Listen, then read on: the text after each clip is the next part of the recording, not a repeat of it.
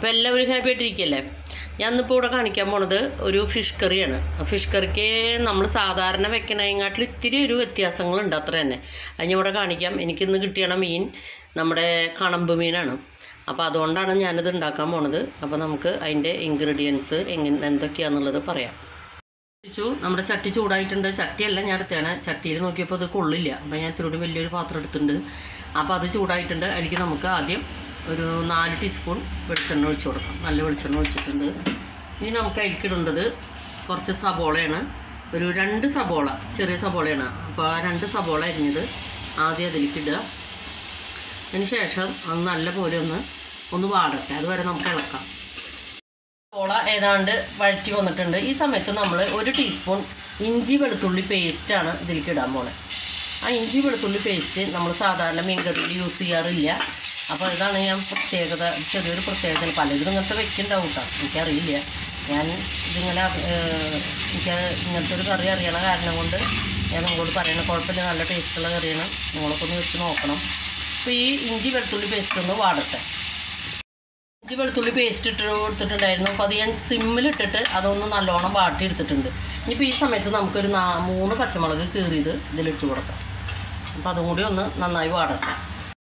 ഇട്ടിട്ട് ഒന്ന് വാടിയിട്ടുണ്ട്. ചെറിയ സിമ്മിലിട്ടാൽ മതി. ഇത് ഇങ്ങനത്തെ കത്തി ചെയ്തുകൊണ്ട് പെട്ടെന്ന് പിടിക്കുകയും ചെയ്യും. ഇനിയിപ്പോൾ ഈ സമയത്ത് നമുക്ക് ലേശം വേപ്പിലിട്ട് കൊടുക്കാം ഇതിൽ വേപ്പിൽ ഒന്ന് വാടി വരട്ടെ.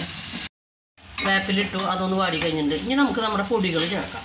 പൊടികൾ നമുക്ക് ഒരു ടീസ്പൂൺ മുളകും പൊടി ഒരു അതാ ഒരാര ഇഷ്ടത്തിന്. ഞാൻ ഇവിടെ ഒരു ഒന്നര ടീസ്പൂൺ മുളകും പൊടി ചേർക്കുന്നുണ്ട്.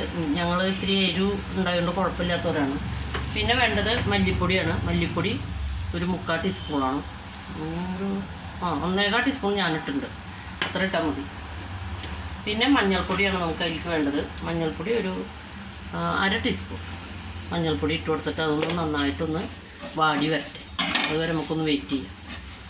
നമ്മുടെ മുളകും പൊടിയും മല്ലിപ്പൊടിയും ഇഞ്ചി വെളുത്തുള്ളി പേസ്റ്റ് പച്ചമുളക് സവോള ഇതൊക്കെ നല്ലപോലെ ഒന്ന് വാടി വന്നിട്ടുണ്ട്. വല്ലാണ്ട് മുരിയേണ്ട സിമ്മിലിട്ടിട്ട് വേണം നമ്മൾ ഈ പൊടികളൊക്കെ ഒന്ന് വാട്ടിയെടുക്കാൻ. അല്ലെങ്കിൽ പെട്ടെന്ന് കരിഞ്ഞു പോകും. ഈ സമയത്ത് നമുക്ക് മീൻ ചേർത്ത് കൊടുക്കാം അതിലേക്ക്. നമ്മളിവിടെ മീൻ കഴുകി വൃത്തിയാക്കി വെച്ചിട്ടുണ്ടായിരുന്നു. അപ്പോൾ ആ മീൻ ഇട്ട് കൊടുക്കാം. അപ്പോൾ തീയൊക്കെ വളരെ സിമ്മിലായിരിക്കണം. കൂട് കൂടുതലായിട്ട് വെക്കരുത്. ഈ സമയത്ത് നമുക്ക് മീൻ ഇട്ട് കൊടുത്തിട്ട് നല്ലോണം ഒന്ന് മിക്സ് ചെയ്യാം.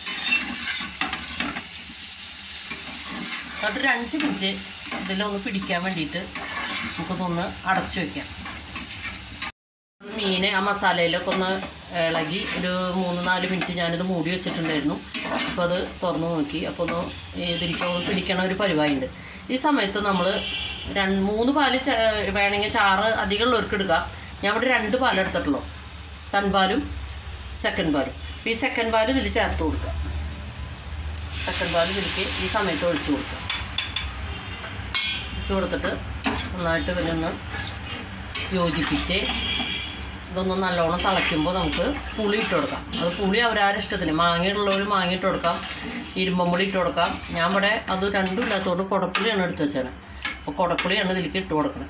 അപ്പോൾ ഇതൊന്ന് നന്നായി തിളച്ച് മിക്സായി വരുന്ന നേരത്ത് നമുക്ക് കുടപ്പുളി ഇട്ട് കൊടുക്കാം. അതുവരെ ഇവരെ ഒന്ന് ഒന്ന് തിളക്കട്ടെ. അതുവരെ മൂടി വയ്ക്കണ്ട ഒരു അഞ്ച് മിനിറ്റ് മൂടി വയ്ക്കാം ഞാൻ മൂടി വെച്ചിട്ടുണ്ടായിരുന്നു.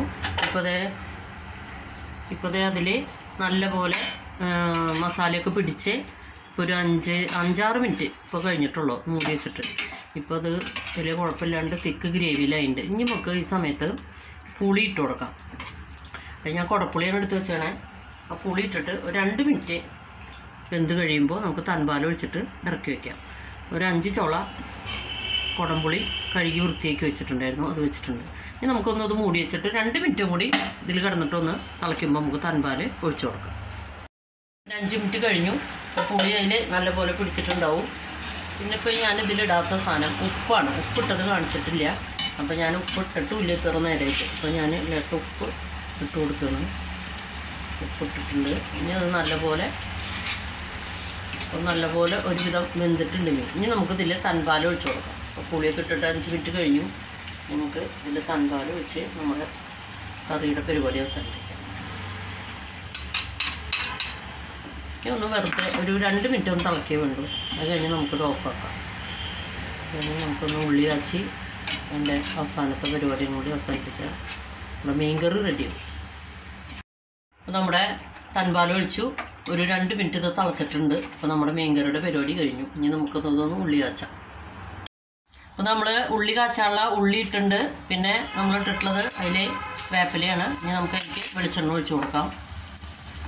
ഒരു നാല് ഇളക്കി ഒന്ന് മുരിച്ചിട്ട് നമുക്ക് ആ മീൻകറിയിലേക്ക് ഇട്ട് കൊടുക്കാം. ഉള്ളിയും വേപ്പിലയും കൂടി അത്യാവശ്യം മുരിഞ്ഞു തുടങ്ങിയിട്ടുണ്ട്. നല്ല മുരിച്ചിൽ ഒന്നുകൂടി മുരിച്ചിലാകുമ്പോൾ നമുക്ക് അതിലേക്ക് എടുത്ത് ഒഴിക്കാം. അപ്പോൾ നമ്മുടെ തീ ഓഫാക്കി ഈ മുരിച്ചലിൽ നമുക്ക് മീൻ കറിയിലേക്ക് ഈ മുരിച്ച ഉള്ളി വേപ്പിലയും കൂടി. അപ്പോൾ നമ്മുടെ മീൻകറി സൂപ്പർ മീൻകറിയാണ്. നിങ്ങളപ്പോൾ അത് എല്ലാവരും ഒന്ന് ട്രൈ ചെയ്ത് നോക്കണം. എന്നിട്ടൊന്ന് അഭിപ്രായം പറയണം. അപ്പോൾ നമ്മുടെ മീൻകറി നല്ല തിക്ക് ഗ്രേവിക്ക് ആയിട്ട് രസമായിട്ട് ഞാൻ ചട്ടിയിലേക്ക് മാറ്റിയിട്ടുണ്ട്. അങ്ങനെ ഇരിക്കുന്നുണ്ട്. ഇനി നിങ്ങൾ കൂട്ടി വെച്ച് നോക്കിയിട്ട് അഭിപ്രായം പറയാം. ഓക്കെ